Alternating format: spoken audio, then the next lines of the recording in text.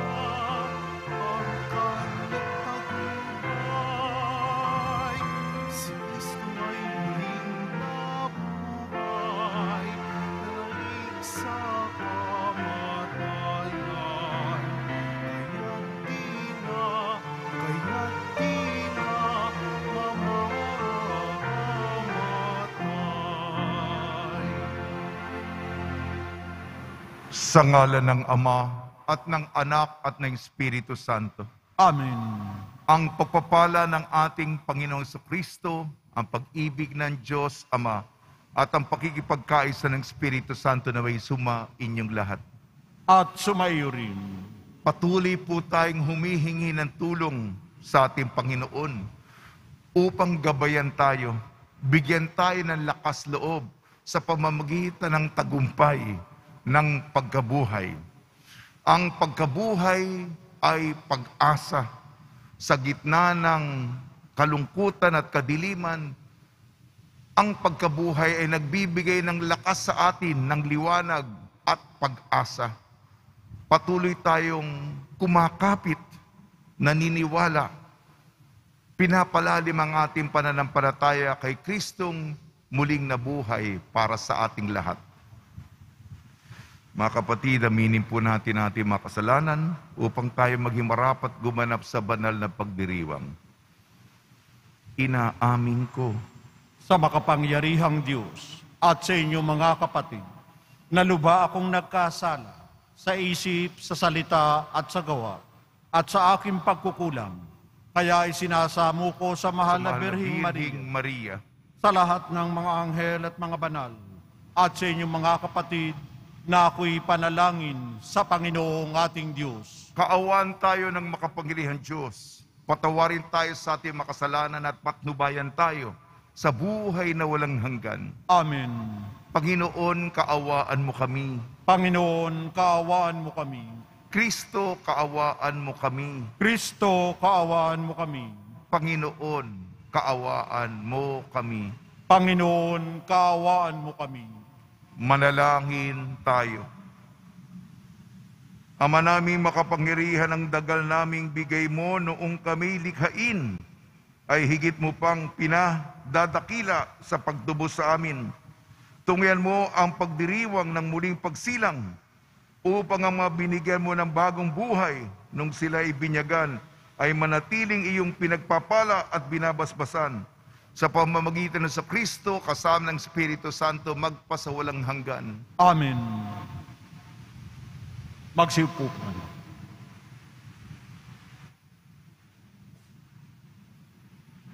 Pagbasa mula sa magawa ng mga apostol.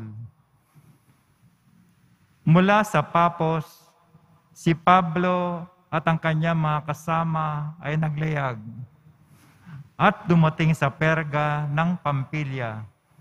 Ngunit humiwalay sa kanila si Juan at nagbalik sa Jerusalem.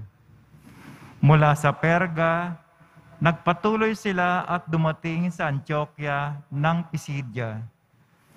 Nang araw ng pamamahinga, pumasok sila sa sinagoga at naupo. Matapos ang pagbasa sa ilang bahagi ng mga aklat ng kautusan at ng mga propeta, nagpasabi sa kanila ang mga tagapamahala ng sinagoga. Mga kapatid, kung meron kayong iaaral sa mga tao, magsalita na kayo. Kaya't tumayo si Pablo at sininyasan silang tumahimik. Mga Israelita at mga taong may takot sa Diyos, makinig kayo. Ang Diyos ng ating bansang Israel ang humirang sa ating mga ninuno. Sila'y ginawa niyang isang malaking bansa samantalang naninirahan sa lupain ng Ehipto. Inilabas doon sa pamamagitan ng kanyang dakilang kapangyarihan at pinagtiisan sa ilang sa loob ng halos apat na pung taon. Pagkatapos niyang lipuli, pagkatapos niyang lipulin ang pitong bansa sa lupain ng Kanaan, ipinagkaloob sa kanila ang lupain ng mga iyon sa loob halos ng apat na raat limampung taon. Pagkatapos, sila'y binigyan niya ng mga hukom hanggang kay Propeta Samuel. Nang humingi sila ng hari, ibinigay sa kanila ng Diyos ang isang lalaki mula sa lipi ni Benjamin, si Saulo na anak ni Sis. Naghari si Saulo sa loob ng apat na pung taon. At nang siya'y alisin ng Diyos, inihalili si David upang maghari sa kanya. At ganito ang patotoo ng Diyos tungkol sa kanya. Natagpuan ko kay David na anak ni Hese, ang lalaking nakalulugod sa akin, isang lalaking handang tumupad sa lahat ng iuutos ko. Mula sa angkan ng lalaking ito, ipinagkaloob ng Diyos sa Israel si Jesus, ang kanyang ipinangakong tagapagligtas.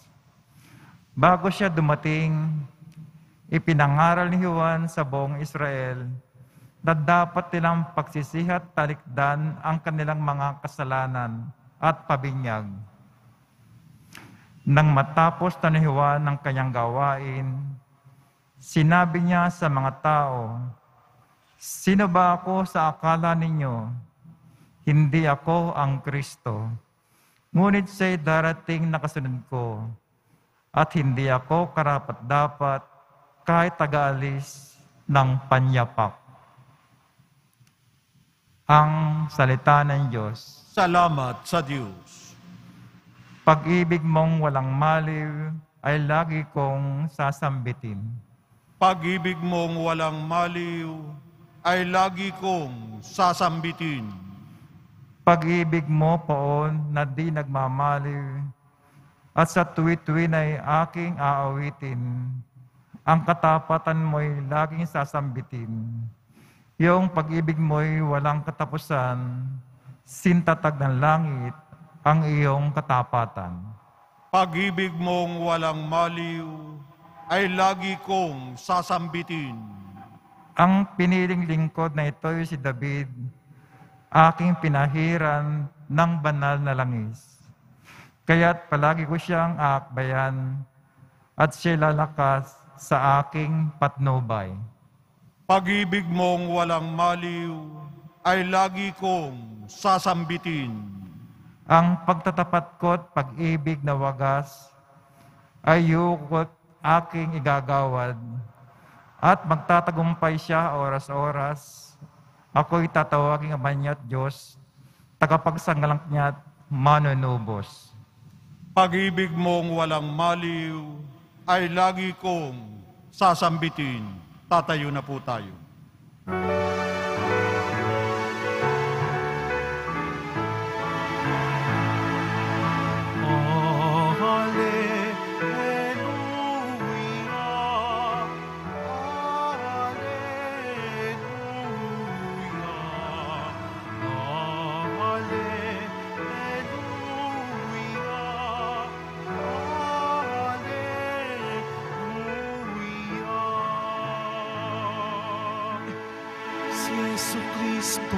ay tapat, saksi at buhay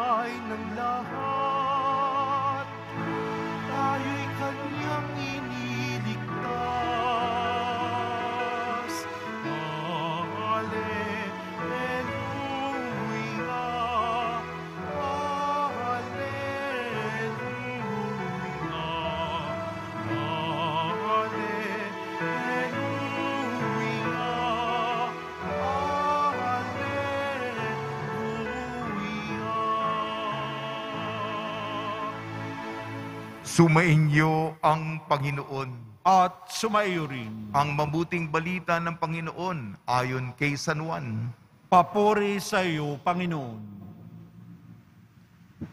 Nang mahugasan na ni Jesus ang mga paa ng kanyang mga alagad, sinabi niya sa kanila, Sinasabi ko sa inyo, ang alipin ay hindi dakila kaysa kanyang Panginoon, ni ang sinugo kaysa nagsugo sa kanya.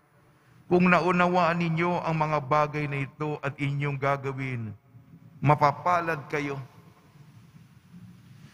Hindi para sa inyong lahat ang sinasabi ko, nakikilala ko ang aking mga hinirang. Ngunit dapat matupad ang nasasabi sa kasulatan, ako'y pinagtataksilan ng taong pinapakain ko. Sinasabi ko ito sa inyo bago pa mangyari, upang kung ito'y mangyari na, ay manalig kayo na ako'y si ako nga. Tandaan ninyo, ang tumatanggap sa sinugo ko'y tumatanggap sa akin, at ang tumatanggap sa akin ay tumatanggap ng nagsugo sa akin. Ang mabuting balita ng Panginoon. Pinupuri ka namin, Panginoong Heso Kristo. Magsiupo po tayo. Binabati po namin kayo sa pagpapala, pagbibindisyon, pagbibiyaya, pagkakalob ng napakaraming grasya mula sa ating napakabait na Nuestro Padre Jesus Nazareno. Nasa kapanahunan po tayo ng pagkabuhay. At ang pagkabuhay, pag-asa natin.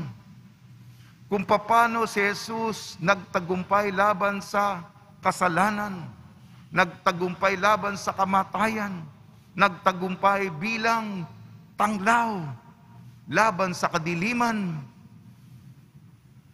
Ito ang pinanghahawakan natin sapagkat ang nangyari kay Jesus, inaalok sa atin.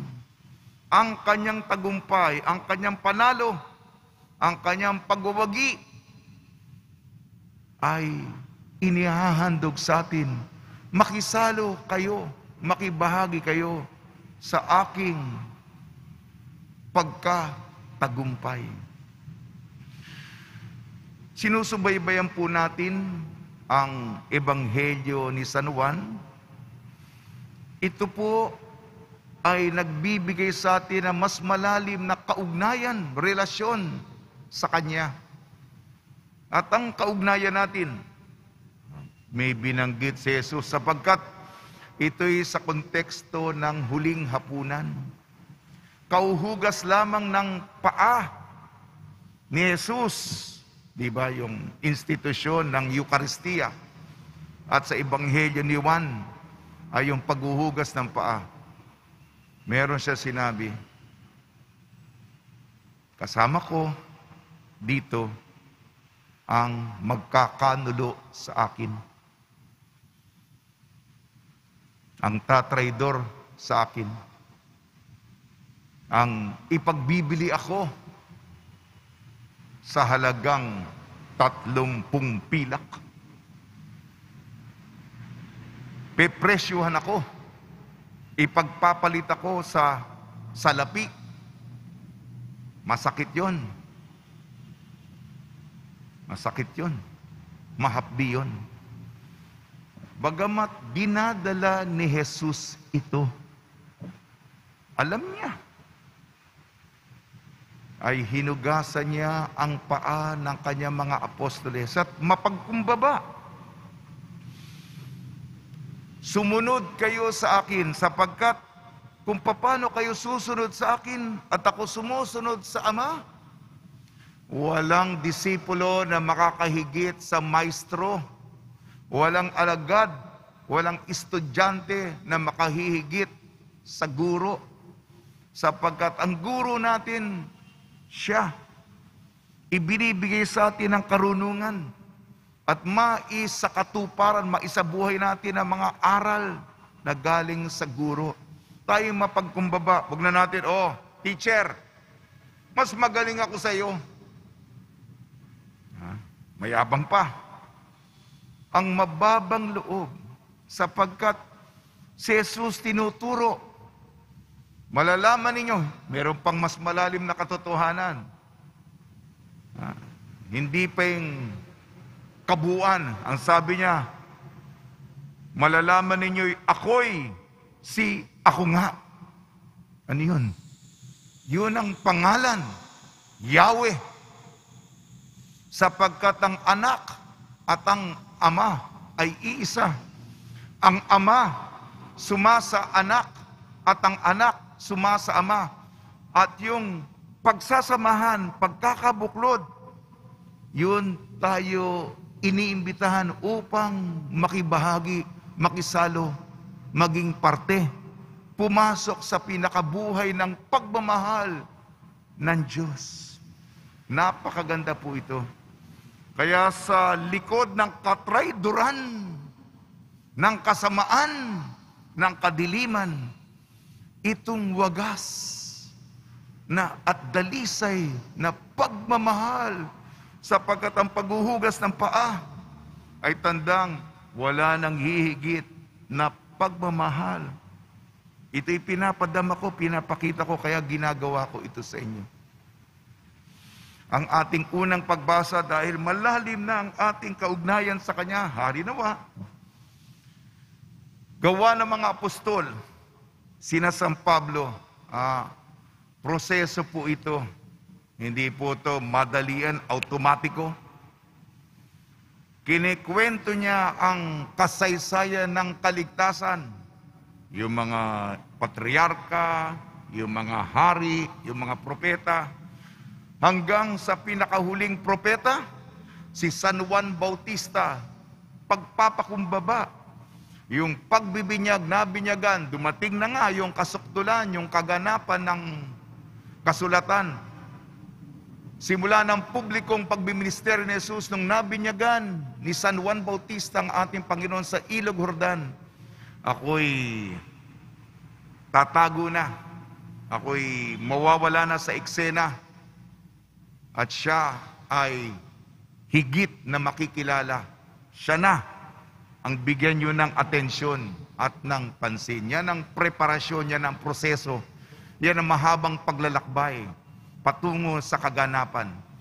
Kaya sa harap nito, pagpapakumbaba. Katulad sa Ebanghelyo, iugnay natin, magpakumbaba tayo sapagkat ang guro, ang aral, ang leksyon galing sa Kanya, tayo po'y nakayukong tumatanggap at nagtuturo ng mga aral galing sa taas. Palakasin po natin ang loob ng isa't isa, lalong-lalo na mga kabataan. Pagkatapos ng halalan, ipadama natin na ang pagkabuhay ay pag-asa sapagkat ang buhay natin magpapatuloy. Marami pa rin tayo mga pinagdaraanan. Marami tayo mga pagsubok. May mga hadlang. Ngunit tayo po'y makakalampas dito. Magtatagumpay tayo kasama si Jesus. Sa tulong ni Maria at ni San Jose, may mga santo sa araw na ito. Si San Pancracio, San Nereo, San Aquileo. Nawa po ay ipadama natin sa lahat, lalo na kabataan, na ang pagkabuhay ni Jesus ay pag-asa sa kapanahunan natin. Amen. Tatayo na po tayo.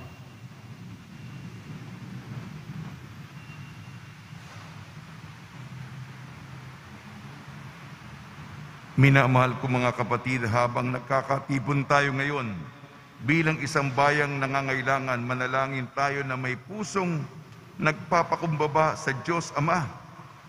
Taglay ang pagtitiwala sa kanyang dakilang habag. Tugon po natin, Ama, pagpalain mo kami kay Kristo. Ama, pagpalain mo kami kay Kristo. Ang mga namumuno sa simbahan, naway panatiling buhay ang kanilang pagtatalaga ng sarili sa pangangaral ng Ebanghelyo, manalangin tayo. Ama, pagpalain mo kami kay Kristo. ang mga pinagkatiwalaan ng pamumuno naway magakyat at maging gabay ng mga tao sa diwa ng paglilingkod, manalangin tayo. Ama, pagpalain mo kami kay Kristo. Ang mga tumalikod sa kanilang pananampalataya, naway mahikayat pabalik sa pamilya ng Diyos, manalangin tayo.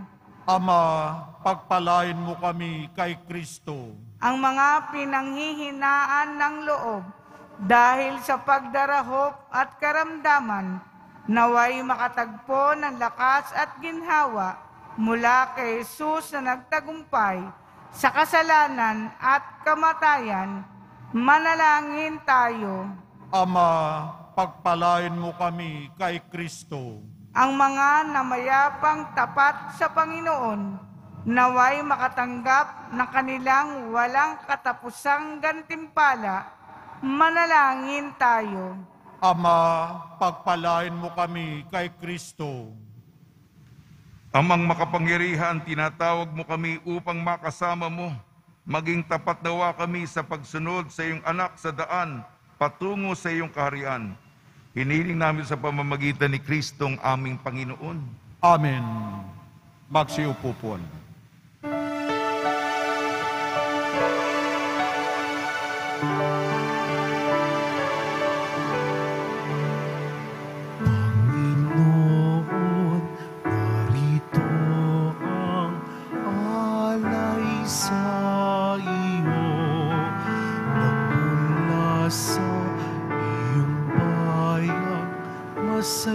Masayang nagsalo. Aming sanang mga alay, gawin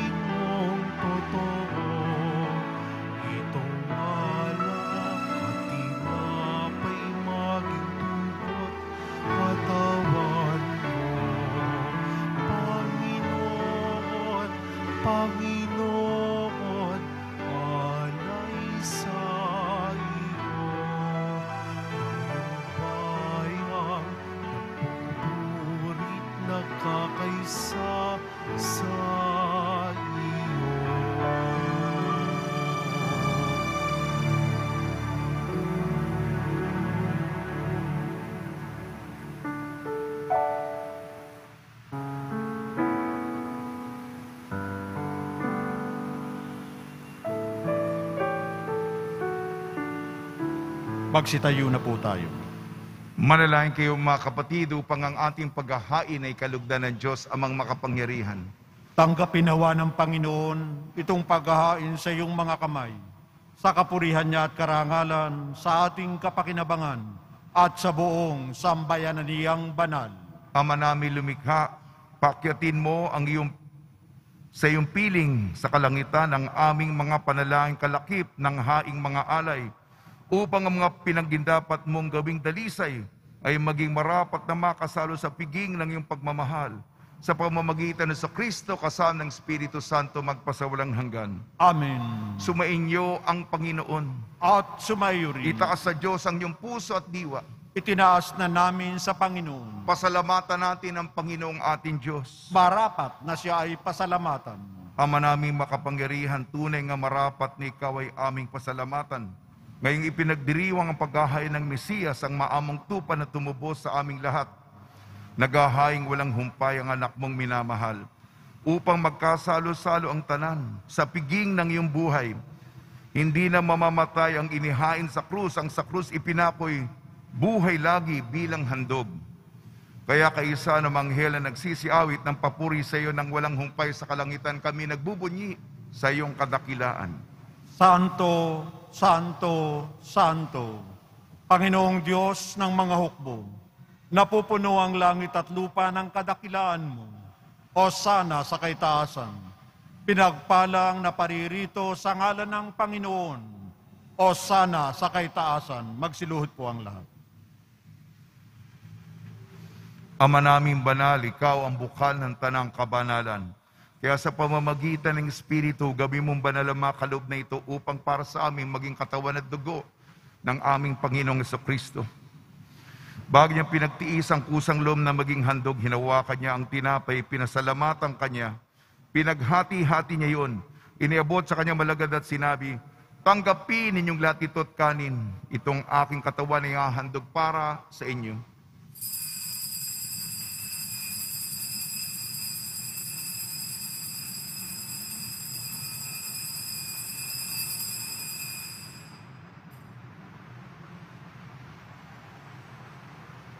Gayon din naman nung matapos ang hapunan, hinawakan niya ang kalis, muli kanyang pinasalamatan.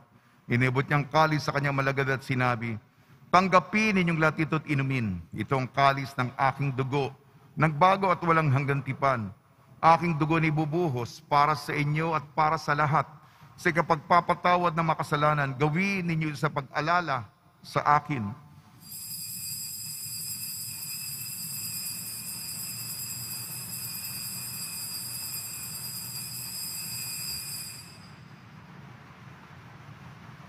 Tatayo na po tayo. Ipagbunyi natin ang misteryo ng pananampalataya. Si Kristo'y namatay, si Kristo'y nabuhay, si Kristo'y babalik sa wakas ng panahon. Ama, ginagawa namin ngayon ang pag-alala sa pagkamatay at muling pagkabuhay ng iyong anak. Kaya tiniali namin sa iyong tinapin na nagbibigay buhay tangkalis na nagkakaloob ng kaligtasan. Kami nagpapasalamat dahil kami minarapat at tumayo sa harap mo para maglingkod sa iyo. Isinasamo namin kami magsasalo-salo sa katawan at dugo ni Kristo ay mabuklod sa pagkakaisa sa pamamagitan ng Espiritu Santo. Ama, lingapin mo yung simbahang laganap sa buong daigdig. Puspusin mo kami sa pag-ibig kaysa ni Francisco na aming Papa at ni Jose na aming Obispo at ng Tanang Kaparian. Alalahanin mo rin ang mga kapatid namin na himlay na may pag-asang sila'y muling mabubuhay. Gayon din ang lahat ng mga pumanaw.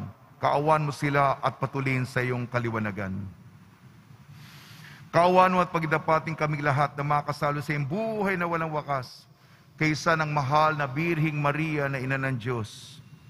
Nuestra Señora de la Buena Hora, ng kabiyak na puso niyang si San Jose kaysa ng mga apostol, San Pancracio, San Nereo at Aquileo, ni San Juan Bautista at ang lahat ng mabanal, na namuhay dito sa daigdig ng kalugod-lugod sa iyo. May pagdiwang nawa namin ng pagpupuri sa ikararangal mo sa pamamagitan ng anak na aming Panginoong Heso Kristo. Sa pamamagitan ni Kristo, kasama niya at sa Kanya ang lahat ng parangal at papuri ay sa iyo.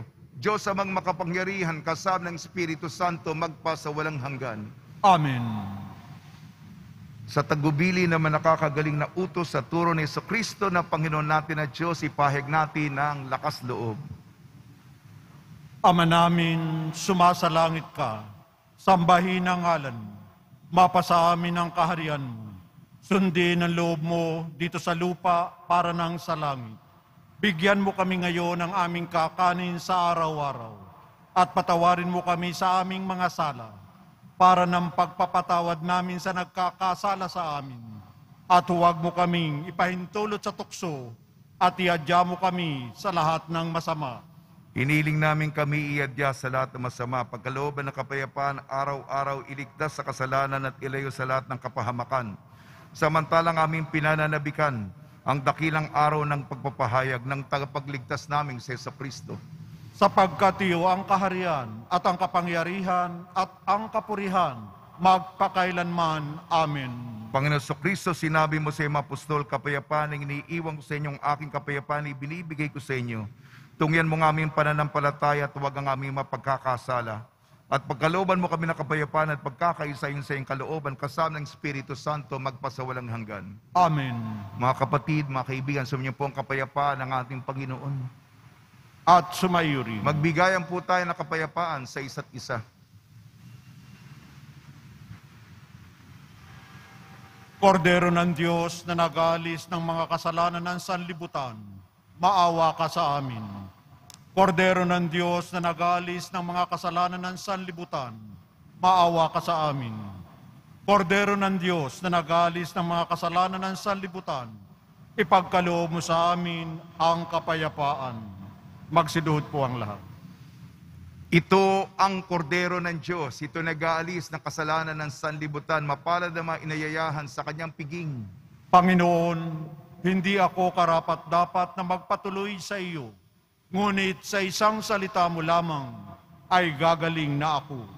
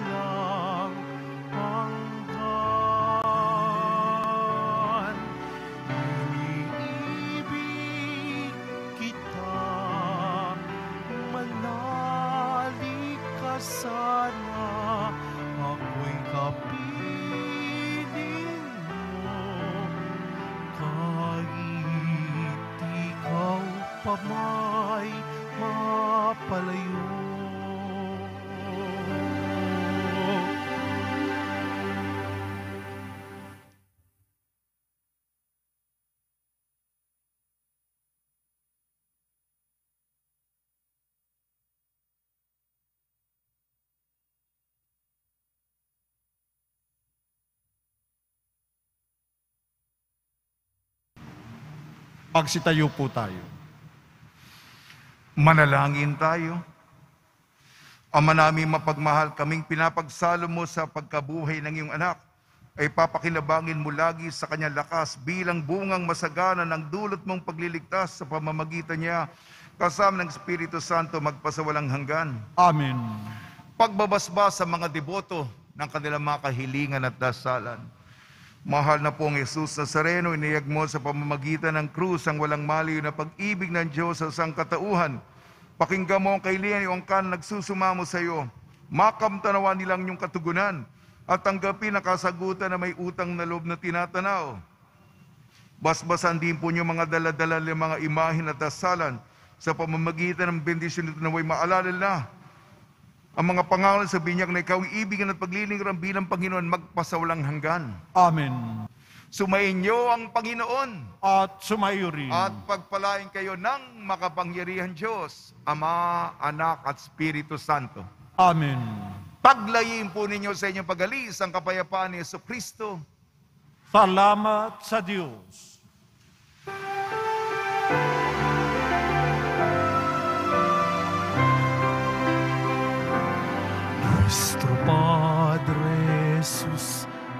Nazareno, sinasamba ka namin.